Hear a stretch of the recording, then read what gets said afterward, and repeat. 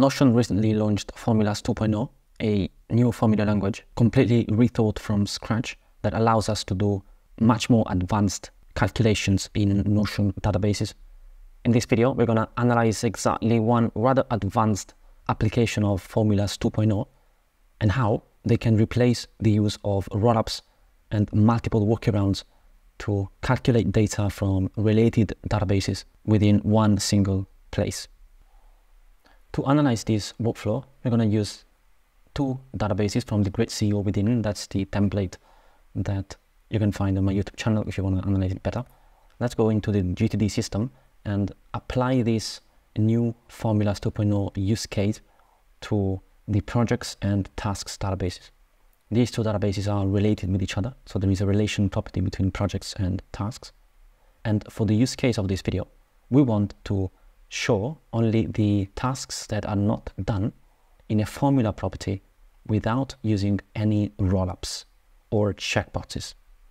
So let's get into one of the projects, for example. You will find the formula is already created here and I will walk you through exactly how that works.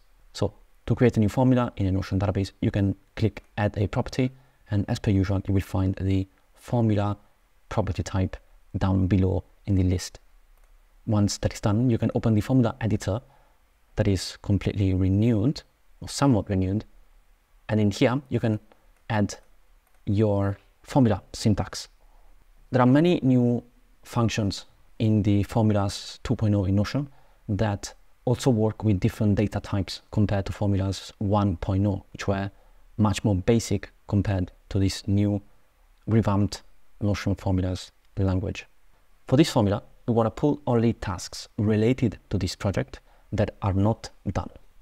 So let's look at this. For this project, develop the next feature. I can see there are two tasks down here. One is through and one is doing. So that means we want to pull both tasks in this property right here. To do that, we can use the filter function. The filter function takes values from a list of values, meaning an array of values in data speech. So we can do filter, then open the parentheses, and the filter function, as you can see, it takes two arguments. It takes a list of values, aka an array, and a condition, that is a filter that we want to apply to that list of values. So in this case, the first argument, that's the list, is the tasks. And that's the variable token that we can get from the list here. So if I delete that, I can do tasks. And here it shows up directly as a property because there is a, property in this database that is called tasks. And that's the relation property that we want to use in this calculation. You can see here when I hover over tasks that is automatically selected for me, it tells me that it's a relation property and the data type is list. So that looks right because the filter function takes the list as the first argument. So we're going to select tasks and that's the token that Notion creates automatically, which means that's a property or a variable in your environment right now. Next up, we want to add a comma so that we move on to the second portion of the filter function, that is the condition. So what filter do you want to apply to that list of tasks? And in this case, we want to apply a filter that says only show those tasks where the status is not done. And to do that, we will use the current. The current value takes the values that are related to this project, in this case, two tasks. Because tasks is a relation property, it's a list. And so if we do not use current, it will output the entire list of tasks from the task database. But we want to filter for the current tasks for this page. And that's why we use current. And I hit enter to select that. And then we'll do dot. And the dot notation is a way to map specific properties from a list. So we take the task list and we want to map the status from the current values, from the related tasks to this project specifically. And we want to apply a filter that only show tasks where the status is not, that is exclamation mark equal, that is the same to say as not equal to.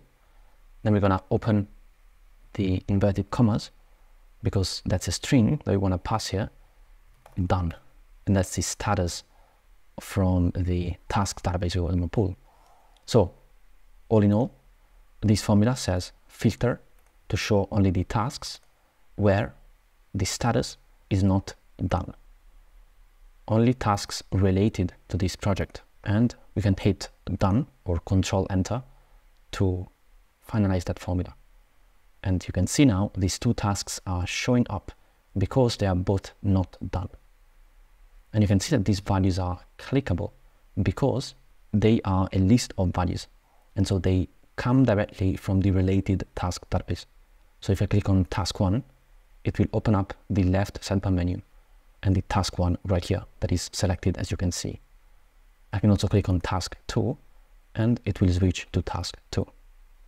Now let's assume we have moved task one to done and you can see that now the open tasks only shows task two and you can always click on it as per usual. If we add a new task, task three, that is going to show up on the open task formula. And that's how you can skip rollups and work around checkboxes to pull data from related databases and show them dynamically while at the same time retaining all the functions of a rollup with clickable values in Notion Formulas 2.0.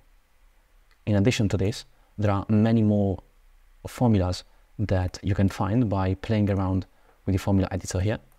You can see all of them right here, as well as in the documentation from the Notion Help Center that you can find in the description as well.